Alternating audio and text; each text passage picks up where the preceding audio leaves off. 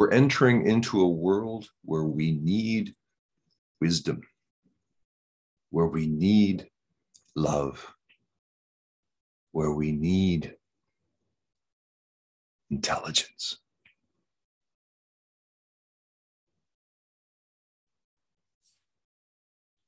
Those are what are necessary to interact with power.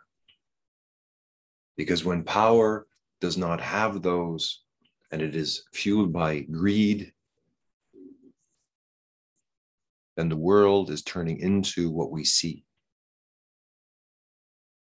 In order to change that pattern, in order for us to expand as a species, in order for us to move into a place where we can actually feel alive, connected, vibrant.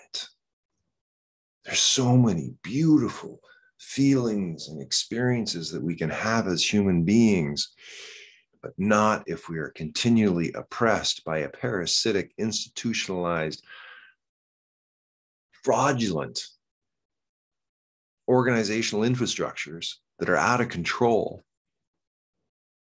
And the only way to protect ourselves is we have to team up, get organized in numbers, and build a whole new world for ourselves. We have to leave behind the beliefs that that is not possible. We have to leave behind all of the limits and blocks that stop us from being our true superhero selves. We have to find the right timing. We have to find the right pulse. We have to find the right patterns. We have to find the right colors. We have to find the right music. We have to find the right people. We have to find the right place. And then we come together in celebration.